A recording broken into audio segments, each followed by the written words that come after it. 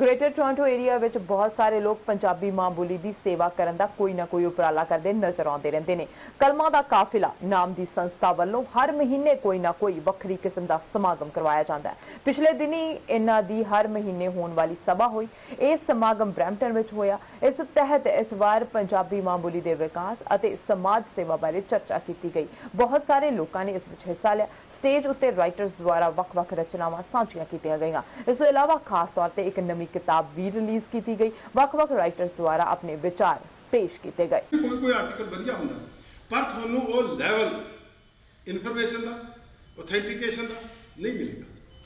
ਜੇ ਜਰਨਲਿਜ਼ਮ ਜਿਹੜਾ ਨਾ, ਜੇ ਉਹਦੀ ਗਰੋਥ ਜਿਹੜੀ ਆ, ਉਹ ਵੀ ਇੱਕ ਪੈਰਾਮੀਟਰ ਹੁੰਦੀ ਹੈ ਕਿਸੇ ਭਾਸ਼ਾ ਨੂੰ ਸਮਝਣ ਦਾ।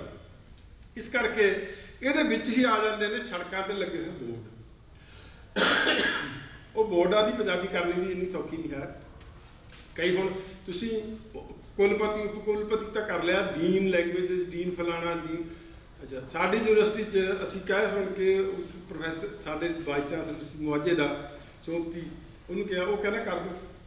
ਜਦੋਂ ਕਰਨ ਲੱਗੇ ਤਾਂ ਬਹੁਤ ਕੁਝ ਨਹੀਂ ਸੀ ਆਉਂਦਾ। ਤੇ ਹਿੰਦੀ ਵਾਲਿਆਂ ਨੇ ਉਹ ਐਸਾ ਉਹਦਾ ਚਟਨੀ ਬਣਾਈ ਸ਼ਬਦਾਂ ਦੀ ਕਿ ਆਡੀਟੋਰੀਅਮ ਨੂੰ ਅਸੀਂ ਆਡੀਟੋਰੀਅਮ ਲਿਖਦੇ ਹਾਂ, ਉਹ ਸਭਾਗਾਰ ਲਿਖਦੇ ਨੇ।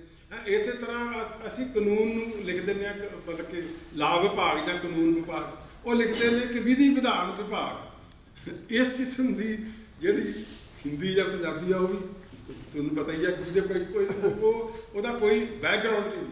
ਜਦੋਂ ਤੁਸੀਂ ਕਨਸੈਪਚੁਅਲ ਟਰਮੀਨੋਲੋਜੀ ਉਹ ਲਓਗੇ, ਨੇੜੇ ਰੱਖੋਗੇ ਲੋਕਾਂ ਦੇ, ਉਹਦੀ ਕੋਈ ਐਸੋਸੀਏਸ਼ਨ ਬਣਦੀ ਹੈ ਨਹੀਂ ਬਣਦੀ। ਇਸੇ ਤਰ੍ਹਾਂ ਸਾਡੇ ਕੁਝ ਕੱਟੜ ਲੋਕਾਂ ਨੇ ਪਿੱਛੇ ਜੇ ਕਿਹਾ ਕਿ ਜੀ ਤੁਸੀਂ ਸਟੂਡੈਂਟ ਸੈਂਟਰ ਨੂੰ ਤਾਂ ਸੱਥ ਲਿਖੋ, ਵਿਦਿਆਰ, ਮਤਲਬ ਸਟੂਡੈਂਟ ਸੱਥ ਲਿਖੋ ਤੇ ਫਲਾਣੇ ਨੂੰ ਜਥੇਦਾਰ ਲਿਖੋ, ਫਲਾਣੇ ਨੂੰ ਮੁੱਖ ਜਥੇਦਾਰ ਲਿਖੋ।